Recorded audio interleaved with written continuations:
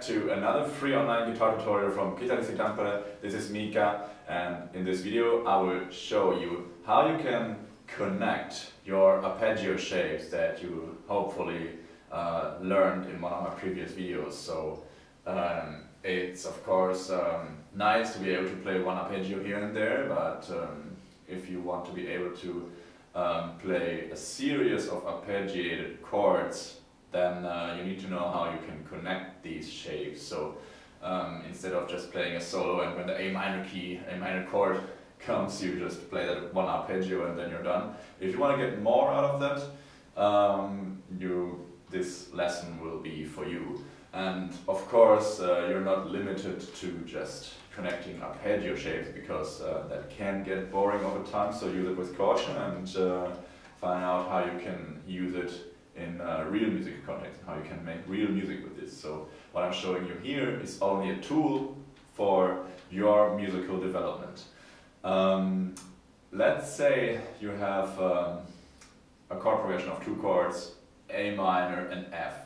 You have uh, common notes, of course, in there, a lot, actually, two, um, that are the A and the C.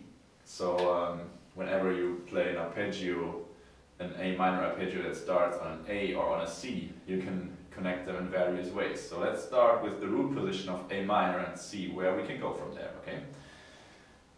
Here's the root position that sounds like this. And I finish on the A note. So from there I could take the second inversion from the F major arpeggio.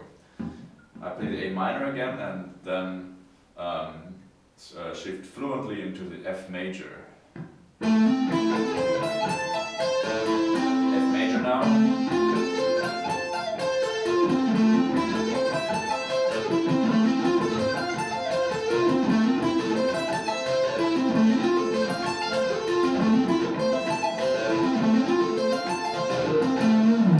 That's what one way you could handle these two chords. And um, let's look at other possibilities. For example, if we start the A minor arpeggio on the C note, and I'm going to play it up here, the first inversion of the A minor arpeggio shape uh, that will sound like this.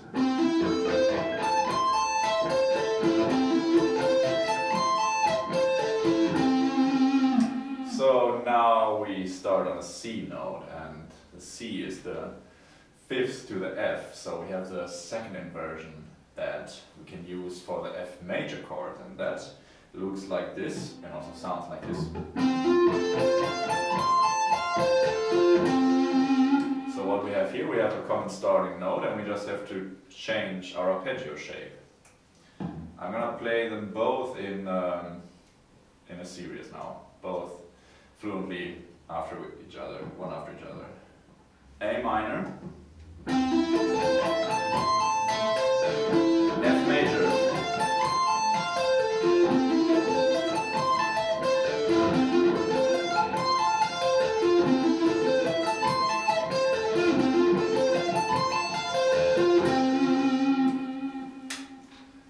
That was another possibility to connect A minor and F major.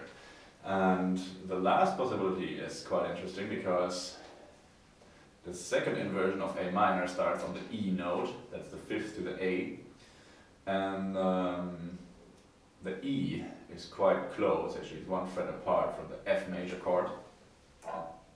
So we could play the A minor second inversion here.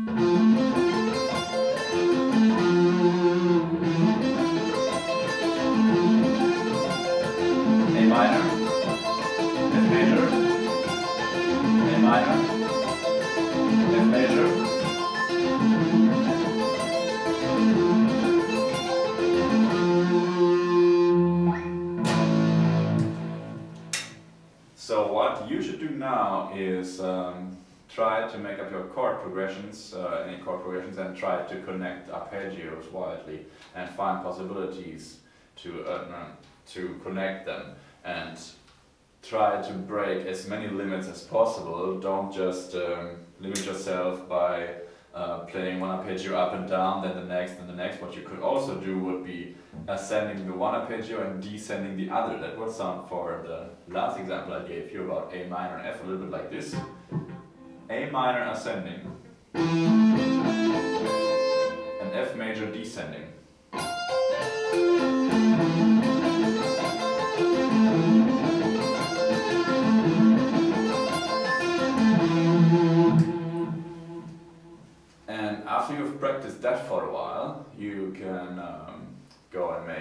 Longer series of arpeggios, um, so what? So first you take two chords and try to connect them, and then you pile up more and more chords and see what you can do with that. And here's how that would sound with the chord progression A minor, F, C, G.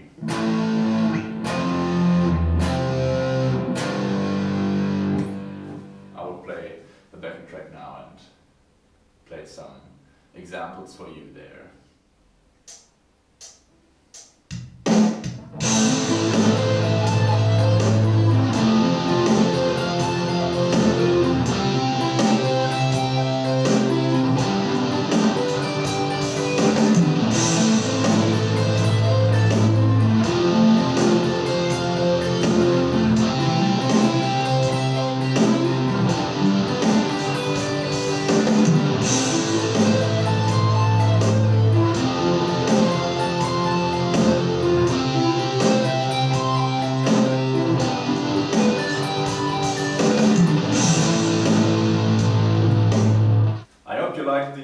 Few examples and uh, the lesson that I gave you here and uh, that you can do something with that. Um, if you want to have more guidance, of course, hit me up on, uh, contact me on um, www.kitaristitampere.fi. That's my website. You can get easily in touch with me there. And uh, I'm looking forward to get to know you and uh, really excited to hear about your progress or your challenges and what you like to play on guitar. We can talk about anything like that. Um, so don't be shy, don't hesitate to contact me. Um, so um, in the next video, of course, I will show you uh, one more way what you can do with arpeggios. Um, that's also going to be quite interesting. So um, look out for that. Um, thanks for watching and stay tuned.